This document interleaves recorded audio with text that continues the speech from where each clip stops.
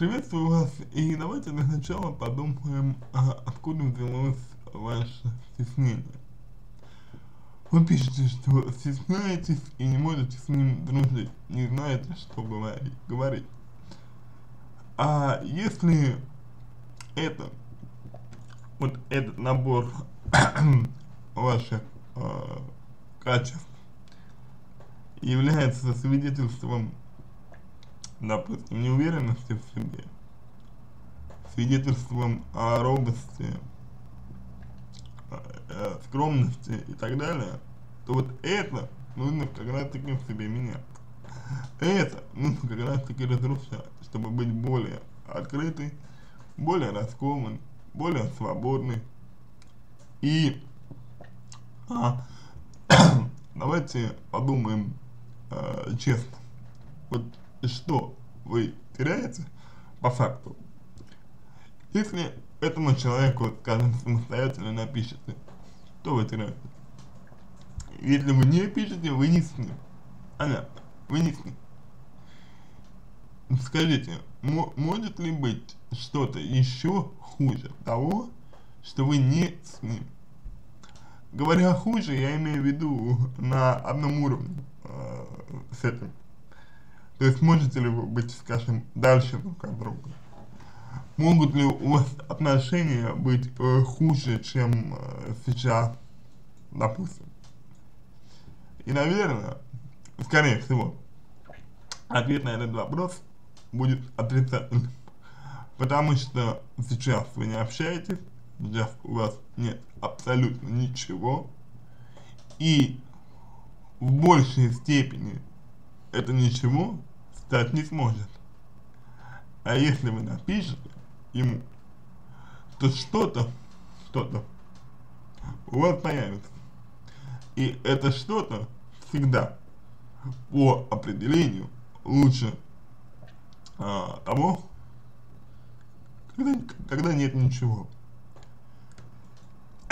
И по поводу а, того, что вы не знаете, о чем говорить, нужно сказать так, что тут необходима работа в нескольких направлениях.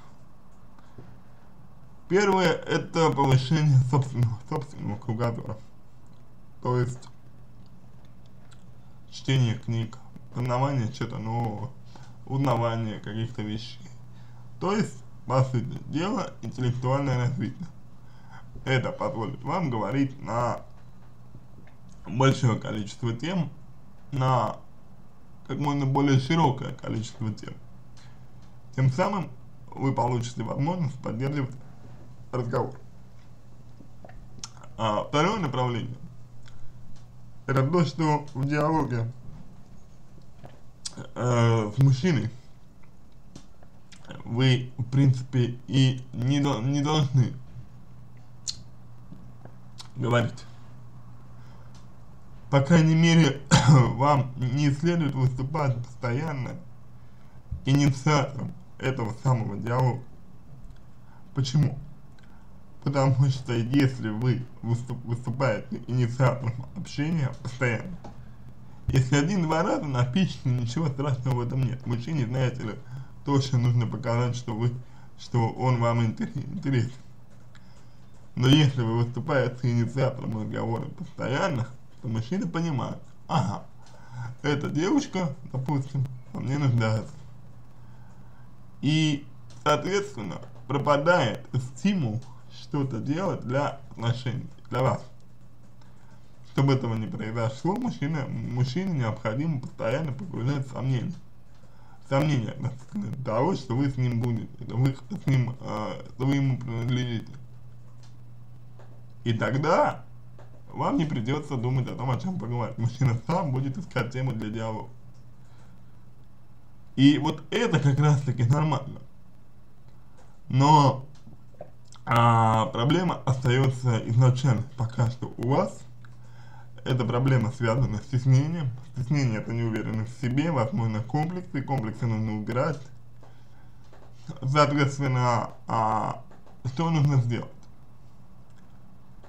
Если имеются комплексы, и если вы до сих пор, э, допустим, живете не одна, а с родителями, то, во-первых, уточняем ваш возраст, во-вторых, э, значит, прорабатываем этот самый комплекс. Как он развился, какая ситуация стала для него основной и, как вы, наверное, понимаете, из смысла определения, то есть комплекс, это означает сочетание, совокупность, а ситуацию, которая и стала комплексом, нужно разбить на несколько частей, на элементы.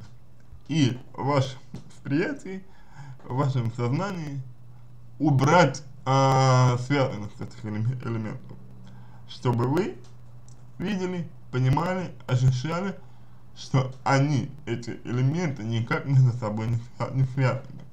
И тогда ситуация перестанет быть комплексной, а элементы, которые встречаются вам в жизни, перестанут эту ситуацию генерировать в вашем сознании, а вместе с этим и перестанут создавать определенный эмоциональный фон. И вам станет легче. Для этого нужна работа. Для этого нужна, нужна беседа с вами, нужно а, найти эту ситуацию, может быть даже не одну, и проработать ваши отношения с родителями, которые, безусловно, тоже, а, судя по всему, влияют на вас и на ваши а, отношения с окружающими людьми и на ваши отношения к самому себе, наверное, тоже. На этом все. Надеюсь, что помог вам. Если какие-то вопросы остались, обращайтесь в личку, помогу. Если вам понравился мой ответ, пожалуйста, сделайте его лучшим. Буду благодарен. Пока желаю вам всего доброго и удачи.